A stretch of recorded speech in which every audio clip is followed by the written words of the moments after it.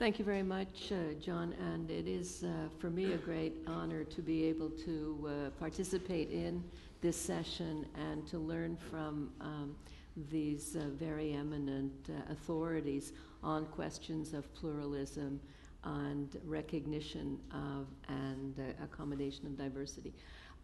the comparison that we're about to embark on is at one level um, somewhat unusual comparing Canada and India, but on the other, at another level, is uh, very appropriate uh, for um, this exercise and for the Global Center for Pluralism to undertake. Um, if we remember uh, very quickly our histories of Canada and, uh, and of India, we, we remember that they're both uh, in their uh, modern origins um, are um, ex-colonies of, um, of Britain have emerged from the British Empire. One of the advantages of that experience, there are many other issues what we could raise about it, but one of the advantages was the um, installation of a set of um, institutions um, around uh, liberal democracy and the functioning of liberal democracy. I think this afternoon we'll hear uh, some more about those institutions.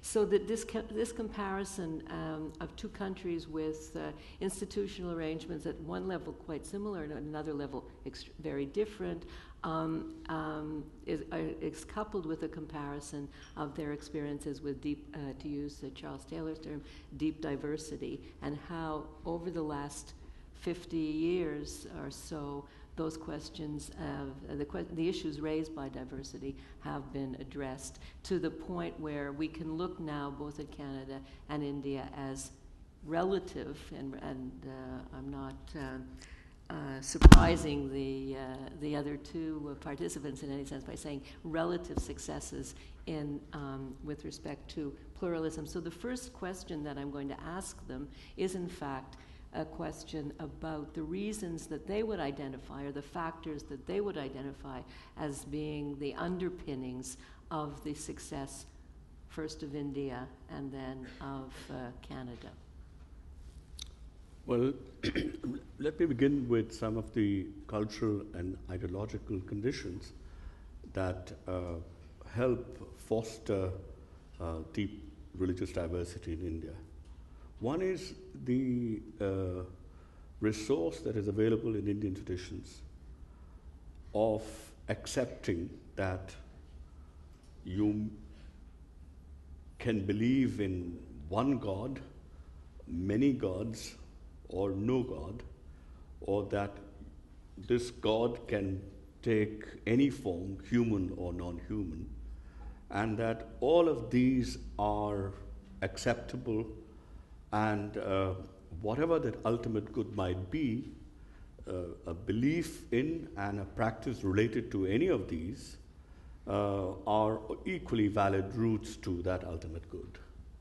Uh, I think that's something which has been pretty strong in India, and uh, this is not something that is shared only by those religions uh, that are believed to have been born in India, namely you know, Hinduism or Buddhism, Buddhism and Jainism and, and so on. But, but uh, even those faiths that, that came to India, uh, the Syrian Christians uh, that came in the first century, uh, a lot of the Islamic uh, uh, believers who came in the 6th, 7th, and 8th century, and later, and the, the Parsis who came from Iran.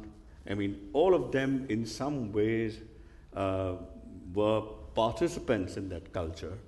And uh, the nature of these faiths in India is quite different from, and this is not surprising, the nature of these faiths is quite different from the way they are uh, or they exist in, in many other parts of the world. And, and so they, they, they, they acquire some of these so called polytheistic you know, within codes features. And that is a pretty important condition for why uh, diversity can be very easily accepted. There are a couple of other things, and I'll be very quick about it. Uh, one is that I, I, think the, the lack of, particularly in Hinduism, but also in Islam, the lack of a centralized authority uh, in regulating uh, and controlling uh, you know, uh, uh, uh, the boundaries of the religion. I think uh, that also helped in movement across uh, religions as well as in multiple allegiances, and also the uh, a tradition where religion never legitimated political rule or political violence, and no no public power was aligned to any particular religion. So there was no, uh, you know, ideas like, you know, there has to be a, strong theocratic state or, or a state with established religion. I, those are pretty much foreign to, to these Indian traditions. And I think all of this helped the growth and the, and the, and the, and the fostering of uh, religious diversity. And all this, many of the lessons of this, despite uh, a massive assault on this tradition in the 20th century, uh, and we can come to that later.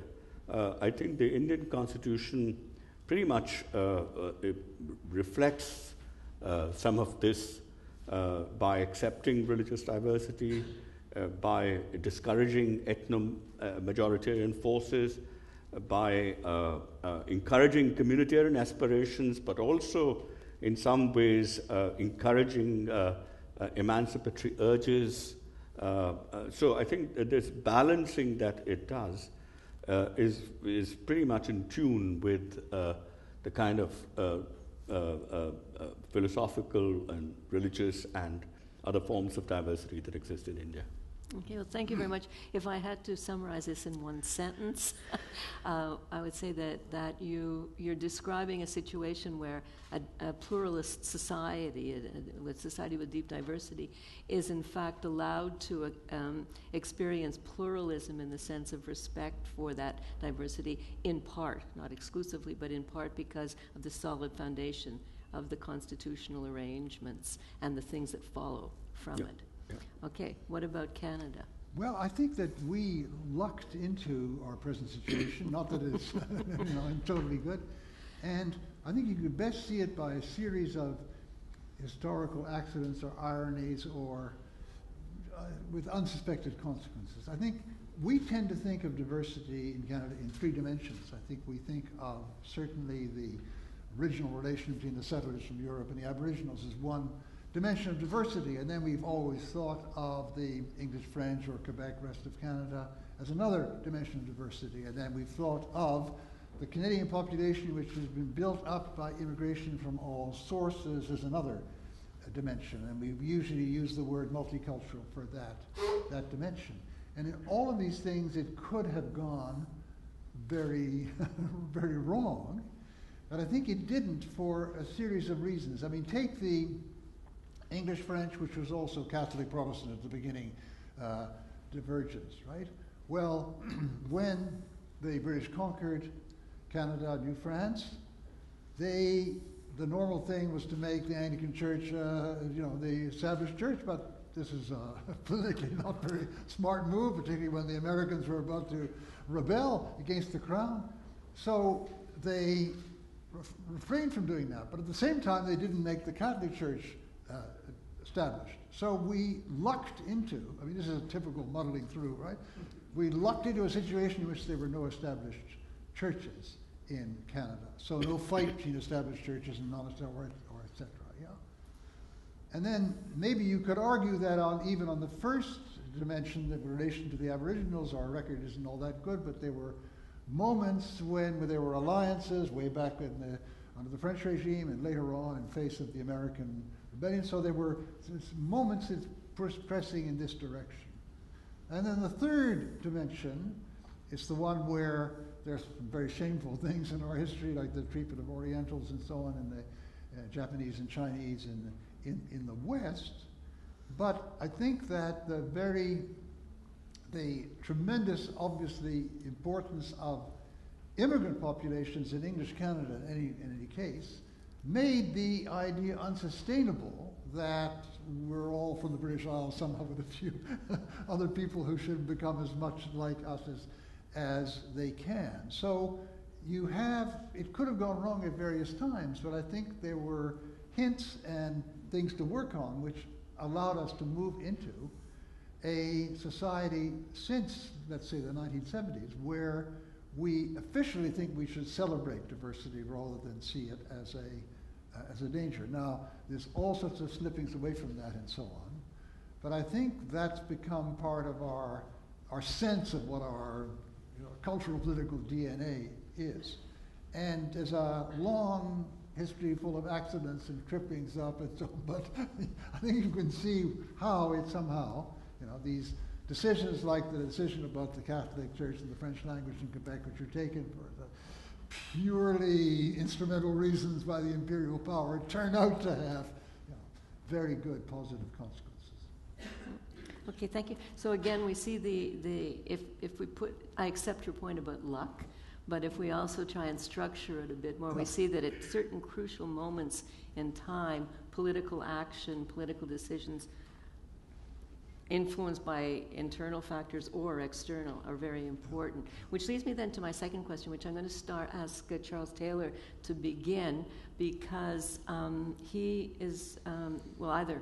I'm not sure which order they're coming in. There will be in La Presse uh, tomorrow and on Saturday um, two op-eds that are related to this uh, this forum.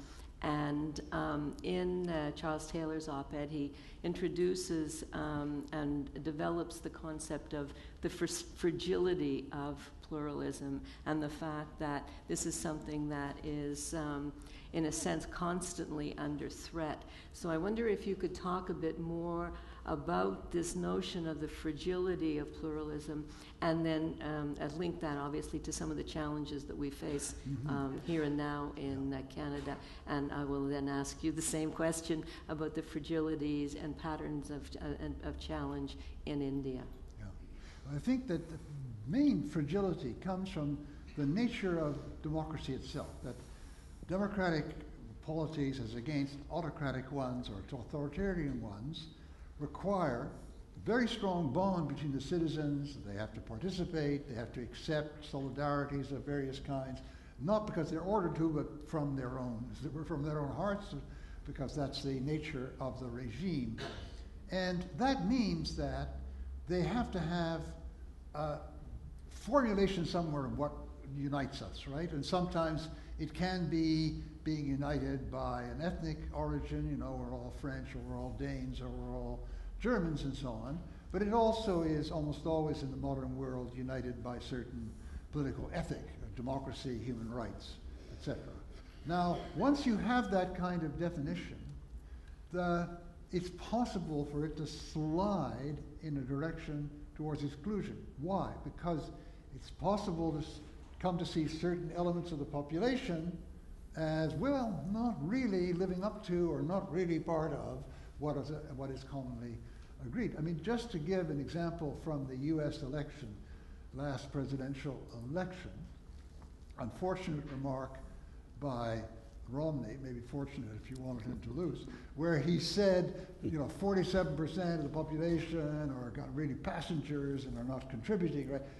Now that is typical remark of somebody who is sliding into his picture of what really makes Americans, that they contribute, that they're full of entrepreneurship and so on, into a reason to say these people are really not living up to it. And, and then you can have that from an ethnic point of view, it's an ethnic definition, these outsiders, they can't really belong to us. So the very thing that holds the society together can turn toxic if you make it into a, a, reason for exclusion. So in the recent debate in Quebec, we all agreed that some kind of secularism, laicite unite us, and then suddenly we got this pointing the finger. These people are wearing this strange head headgear for some kind of obscure, dangerous reason are a threat.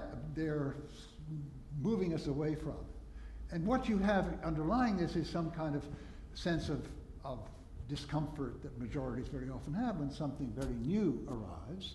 But then it gets, you see, it gets rationalized in this way which touches the common political ethic. And he uses that as a reason to, to mark these people out. Now, I think the fragility is that we're always open to this, and a new situation where, let's say, a new population comes we haven't lived with before, or a new twist in what we think is really important, a new situation can take the most wonderfully diverse and pluralist society and threaten it with, in face of this uh, group, turning in, in an exclusionary direction. So that, I mean, the lesson is you never are, you never achieve a, a diverse, pluralist society once and for all.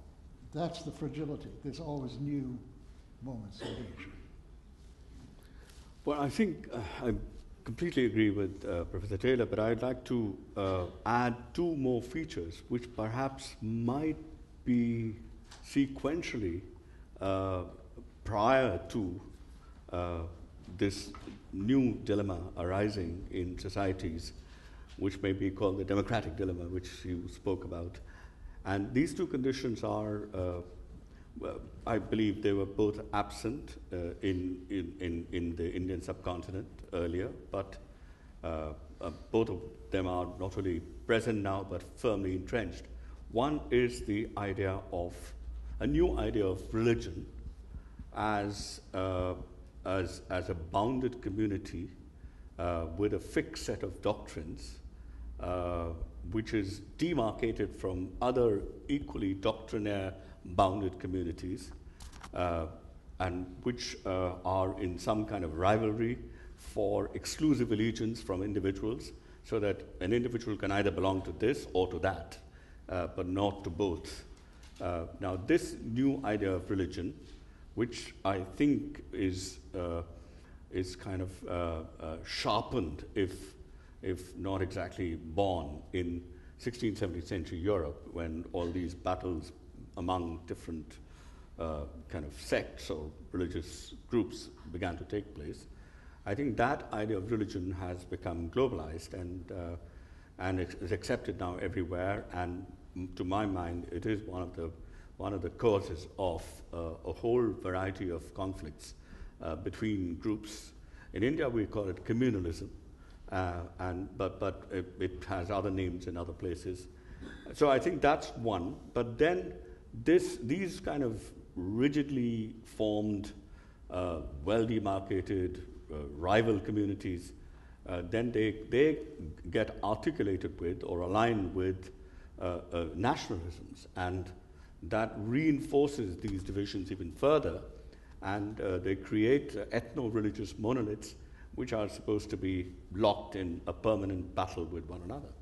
And if under these conditions you have uh, a representative democracy, then I think uh, the chances of uh, you know these exclusionary bits that Professor Taylor talked about are far greater, uh, and uh, that's exactly what has happened in India. So, so uh, unlike you know some other story which might have arisen after the 16th, 17th century with the collapse of the Mughal Empire, what you have is a story which is very similar to the kind of stories that you find elsewhere in other parts of the world, creating the same tensions, uh, the same kind of bitter conflicts, uh, and uh, the same uh, exclusionary uh, motives uh, at play, and requiring very similar solutions to the one that that are that that create that that bring about both uh, peace and, and some modicum of respect for one another. And, uh, and so the constitutional arrangements are building on those ancient traditions that I talked about, but by and large, they, they begin to reflect. Uh, and I'm glad that this happened. Uh, they, these are always contested, and, and we see this contest taking place all the time. So I completely, completely agree with the point about fragility that Professor Taylor mentioned, coming not only from sources which are in uh, the nature of democracy, but from other places as well. But I mean, I still sort of thank our stars uh, as, uh, as a person from the subcontinent in India. I thank our stars that we have a constitution which, which, uh, which uh, tries to keep this kind of majoritarianism at bay, not always successfully, which uh, is also sensitive to communitarian aspirations. And I think all human beings, in one respect or another, have those aspirations. But it also, in some ways, recognizes the, the deep urges that we have as individuals to be apart from communities and to live the way that we wish to live, and all the emancipatory urges that we have uh, are, are, are, are in protected uh, by individual rights. So, so we, we, we once again, and this is an old Indian tradition, of balancing things rather than prioritizing them, saying this over that, and so that uh, this contextual balancing is something which is built into the Constitution. Uh, and the best uh, practices of the court as well as the parliament try to uh, uh, kind of uh, build on that process of balancing different values. And the successes come from, from, from a successful balancing of these values. And the, and the threats, challenges, and the failures, and there are many such failures, they come when uh, either these values are disregarded or if one of these values is made paramount uh, to the exclusion of other values. Okay, well, that's an extremely um, uh, interesting idea, which I think goes well beyond uh, Indians' habit of uh, trying to trying to balance neither here nor there. I mean, what would you what would you see as the essential balancing mechanisms of this sort to um, to counterbalance the fragility in the Canadian situation. More concretely. See, I think that, yeah, I think that what has to move in to counter, be a counterweight, is that we have to develop in democratic societies a somewhat new understanding of what it is to have this common bond, because we tend to treat it as something that was once for all defined by the founding fathers or whatever, or the revolution or the the great loi sur la séparation de l'Église et l'État de 1905 and all that kind of stuff, right? We have the, we revere these founding moments and we think it's all already settled. But it isn't because the only way to avoid that becoming toxic is to be able to rethink it at any given moment. Hey, look, the way we're reading it up to now, it's in danger of producing these kind of divisions and, ex- and uh, exclusions. We have to rethink what it really means. This is what the debate in France was, which unfortunately the right side lost. I mean, about the, from about 2000 on, right? There was a certain notion of laicite which isn't really well founded in the 1905 law, as a matter of fact, but it became the image, right? Which means that we can't have these kids wearing headscarves and so on in school.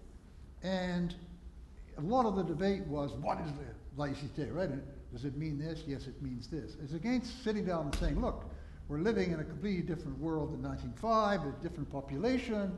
Let's think of what the basic value of laïcité, which is not to make the state the property of any particular religion or ideology. That's what they were doing. They were fighting off a hegemonic Catholic Church at that moment. That's the point. And how can people live together without this kind of state tilted in one direction or the other? If you had thought of it in those terms, then the legislation they steadily put in since 2003-4 would not have been adopted. So there's a, there's a kind of gestalt shift we all have to make that people who say, this comes from the foundation, shut up. no, that's, that's. Let's see, in terms of the fundamental values that we want to live by, which we owe to some degree to our founding fathers and so on. I mean, John A., he had all sorts of problems with whiskey and so on, but he was, you know, we still owe him a certain amount of, of uh, let's say, uh, respect and so on. But the really crucial question is how do these basic values, how are they going to be lived out now? So we may have to revise some of these. And that means, for some people, that's very insécurisant. I mean, that you know the bond, what it means to be a Canadian, a Québécois, that must be clear, right? That must be established from the beginning. And the answer is, well, in a way, yeah, the, the general spirit, but in its detail, no. Let's think again. It's that kind of idea of what citizenship is, what citizen renewal is, that has to become part of the vernacular of every democratic society. Okay, so there, there has to be, a, a, in your terms, a constant rethinking a, and, a, and a constant understanding that s- historical myths are myths. Yeah. They're, they have re- roots in reality, but they're constantly created or recreated through time. Um, and they also provide the foundations of important uh, institutional arrangements as well as, as a sense of identity. So I can't stop myself from asking who is the we who is going to do this? Who are the, the political forces, the political actors? How do you organize uh, that kind of discussion and and sensibility of uh, the, the, attention to mm-hmm. the, um, the need for this kind of consciousness. You've had a role, both of you have, have played roles in these as leading intellectuals in your own societies and, and crossing uh, borders. Is this the role of intellectuals? Is it the role of um, political parties? Is it the role of great leaders? We can point in a number of these cases to a single individual who had followers and who moved these things forward. Where does it come from? This well, constant rethinking and readjustment. All of the above. I mean, except that we, you know, if you're me or if you're him, you think of what intellectuals can do. But you know, if we we do our job well, but there's no echo at all in the political parties, or the, then we're we're dead ducks. But we have important role. I'm thinking once again, let's look at the French case. I say that because it had a great impact on the Quebec case, right? So we had to, I mean, I know more about French laïcité and its history than 99.9% of Frenchmen because you have to work this out. Well, a figure like Jean Baubérot, you may not know him, but somebody who's written the history of French laïcité, demystified all these, these ideas that were part of the Républicain uh, camp. That was a tremendously important task. Now, it didn't succeed in inflecting the direction of French politics since 2000, but it did actually help us to write our report for Quebec, and I think it's had some impact in Quebec. So everybody has to play their part in this, but there's a very important part that intellectuals have to play. They have to, we can make the kind of study, sit it down and make the kind of study that can give the basis for demystifying a lot of these stories. Yeah, pretty much the same answer, really. It's a, this entire project is multiple agent dependent. You can't rely only on one section. You can't rely only on intellectuals. You have to have a very uh, uh, active, uh, stimulated civil society. Uh, you have to have political parties, and in, within those political parties, some people who can play the role of statespersons uh, who are not guided by, by vested interests alone. I mean, you can't expect politicians not to be guided by their own interests, but sometimes they can, can rise above their own particular interests. Again, the judiciary has to play a very important role, uh, and, uh, you know, we expect sound judgments from them. Uh, the press has to play a, I mean, a vibrant press is very important. And of course, an alert citizenry. I mean, uh, all, of, all of us are citizens, and we all have uh, some role to play. Fortunately, we have not only separate political public spheres where wherein we can express our views and exchange, uh, but we, we have, thanks to the technology that we have now, we have these, uh, inter- these intercommunicating uh, public spheres and also the development of larger and larger public spheres which are which include which can include everybody so that people everybody who is interested can potentially participate in them and, and be in, in, some ways uh, be able to contribute to making, making decisions or at least having some impact on decisions wherever they are made. So, so, uh, so yeah, this is none of these, uh, none of these uh, uh, issues can be decided by, when we talk about the state, for example, when I talk about the state, and I'm sure when Chuck talks about the state, I don't think we have only in mind, you know, state officials uh, taking decisions. It's a democratic state, and all these parties must be involved in the final decision that is made, regardless of whether that decision is correct or not. The, the, the procedure must have must be inclusive enough before the final outcome uh, of, of the deliberations, which take place in, which take place in this very mushy, messy, zigzag manner mm-hmm. through all these different publics. Okay, which brings us back then to the title of the uh, of the event of inclusive citizenship. I hope that you all feel that you have been um, called upon now to uh, act uh, up to your responsibilities for thinking and rethinking these issues. But before I turn to you, I'm going to ask each um, um, to answer one more question, um, which is that if you had to say to uh, Charles Taylor, the one lesson I have from India that might be useful to Canada is, and then if Charles had to say to you what the one lesson that Canada I have from Canada that might be useful to India is, what would your answer Well, be? Charles Taylor has already absorbed that lesson from India. So I, I don't say to him, but I'll nonetheless say to uh, everybody I think the, the model of secularism, uh, you know, uh, if a, a, lot of people think that secularism is anti religious, uh, and uh, I think that is uh, mistaken. for lots of reasons, but one simple empirical fact is that three fourths of the world is, is you know, has some religion or the other. I mean, maybe that's an understatement. Maybe five sixths of the world has some religion or the other. So if we're really going to talk about including all of them, then we can't have a, we can't have a model of secularism that is anti-religious. The only model worth uh, having is one which gives uh, equal respect to believers and unbelievers, and to different types of different types of believers and unbelievers. I mean, uh, India has had a long tradition both of fiercely, uh, you know, f- very robust uh, non-believers, as well as you know people who have uh, faith in the traditional sense of faith, and and, uh, and and I'm pretty certain that other cultures and other civilizations have also have that.